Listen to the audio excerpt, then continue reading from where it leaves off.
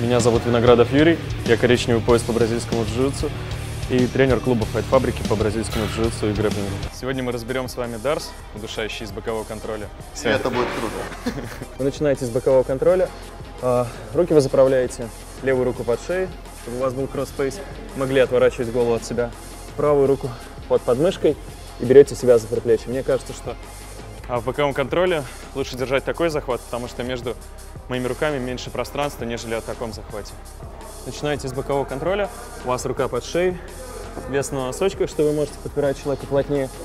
Рука заправляет андерхук под рукой. И мне кажется, что плотнее держать такой замок, нежели такой.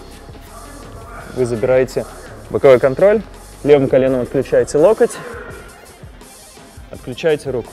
Теперь моя задача освободить левую руку из-под шеи и кулаком, лезвием разворачиваясь перед головой, поставить его в пол сюда.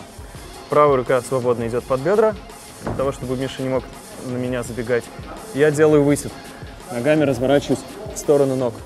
И я забегаю через север-юг на ту сторону боковой контроль. Когда я забегаю, у меня рука выпрямляться отсюда.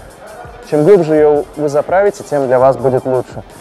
Грудь будет давить плечо вниз, как при обычном треугольнике. С одной стороны у вас перекрывает плечо, с другой стороны рука будет перекрывать артерию. Закрываете треугольник руками, и весь вес начинаете опускать шею отсюда. Получается дарс. Старайтесь избегать вот этой части, так э, давление вы будете делать больно человеку. Мне кажется, что если вы заправите чуть поглубже руку, то вы перекроете большую часть шеи и сможете сделать за счет веса, не за счет того, что вы изламываете шею, а за счет того, что вы давите с одной стороны плечо вниз, а с другой стороны у вас рука как стопор